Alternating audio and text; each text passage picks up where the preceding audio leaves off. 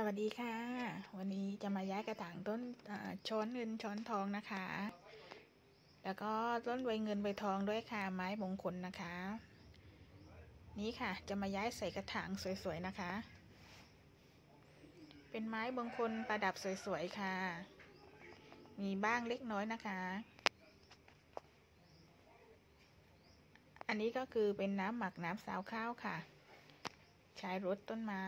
แล้วก็เป็นดินค่ะดินที่ได้ทำการผสมเอาไว้เลยนะคะ เป็นดินปุ๋ยหมักค่ะแล้วก็เปลือกไข่